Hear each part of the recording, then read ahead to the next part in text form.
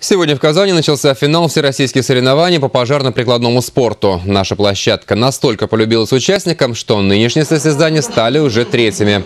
Самые захватывающие этапы – полоса препятствий и подъем по лестнице на высоту четвертого этажа за считанные секунды, каждый из которых может стать либо последней, либо спасительной.